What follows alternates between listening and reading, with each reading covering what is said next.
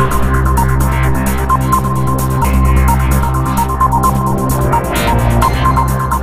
लहराता रहे तिरंगा हमेशा बनी रहे देश की शान, अखंड रहे भारत सदा, स्वतंत्र रहे संविधान। आप समस्त देशवासियों को, नमस्कार, मिथिला परिवार की ओर से छिहत्तरवीं वर्षगांठ, स्वतंत्रता दिवस की ढेर सारी शुभकामनाएँ। हम भगवान से यही प्रार्थना करते हैं कि हमारा देश हमेशा स्वतंत्र रहे, आप हमेशा आगे की ओर प्रगति करें। हम हर साल देश के इस महापर्व को खुशियों से मनाते रहे। नमस्कार, मिथिला, मैं हूँ प्रणव कुमार मिश्रा। इस वक्त आप सभी देख रहे हैं नमस्कार, मिथिला न्यूज़। छिहत्तरवे स्वतंत्रता दिवस के मौके पर प्रधानमंत्री नरेंद्र मोदी ने लाल किले की प्राचीर से नौवीं बार ध्वजारोहण किया। इस मौके पर उन्होंने राष्ट्र को संबोधित भी किया। प्रधानमंत्री के भाषण में भारत की विरासत से लेकर स्वतंत्रता सेनानियों, यहाँ की एकता और अखंडता का भी ज़िक्र था। प्रधानमंत्री ने देश के विविधता पर गर्व करने की अपील की। अपने संबोधन के दौरान पीएम ने अगले 25 सालों के लिए पाँच प्रण भी लिए। उन्होंने विकसित भारत का प्रण लिया। भ्रष्टाचार और भाई भतीजावाद पर चोट? जी हाँ प्रधानमंत्री ने कहा, हमें भ्रष्टाचार के खिलाफ पूरी ताकत से लड़ना होगा।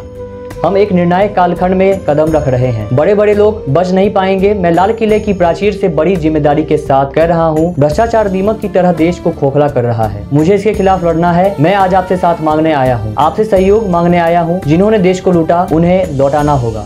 भाई भतीजावाद पर चोट करते हुए उन्होंने कहा, लोग सोचते हैं कि मैं सिर्फ़ राजनीतिक क्षेत्र की बात करता हूँ। हिंदुस्तान की हर संस्था में परिवारवाद है। इसके कारण मेरे देश के टैलेंट को नुकसान होता है।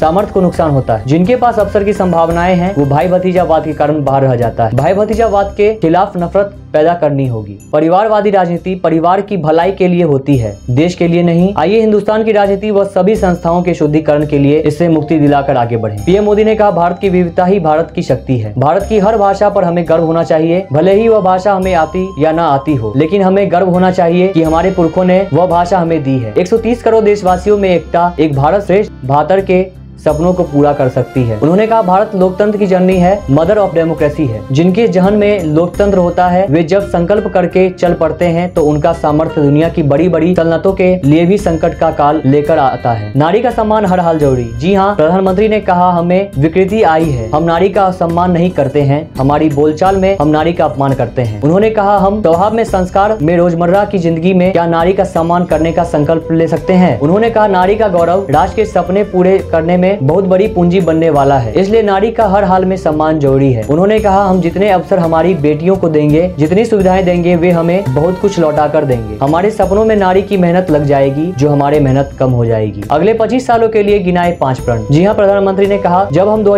में देश की आज़ादी के सौ साल पूरे करेंगे तो हम अपने स्वतंत्रता सेनानियों के सभी सपनों को पूरा करने का प्रण लें। उन्होंने कहा, अगले पच्चीस साल देश के बहुत महत्वपूर्ण है। हमें पंच प्रण की शक्ति पर ध्यान केंद्रित करना होगा। विकसित भारत, गुलामी से मुक्ति विरासत पर गर्व, एकता और एकजुटता नागरिकों का कर्तव्य। नमस्कार मिथिला अब तक इतना ही। मिलते हैं अगले दिन नई खबर, नए समाचार लेते हुए। जाने से पहले अगर आपने हमारे चैनल सब्सक्राइब नहीं किया तो हमारे चैनल सब्सक्राइब करें। अगर आपने हमारे ट्विटर इंस्टाग्राम फेसबुक पेज को फॉलो नहीं किया तो हमारे सब पेज को फॉलो करें। नीचे हमने इसका डिस्क्रिप्शन दे दिया है। हमें दीजिए जाने की इजाज़त, तब तक देखते रहिए। नमस्कार मिथिला न्यूज़। नमस्कार मिथिला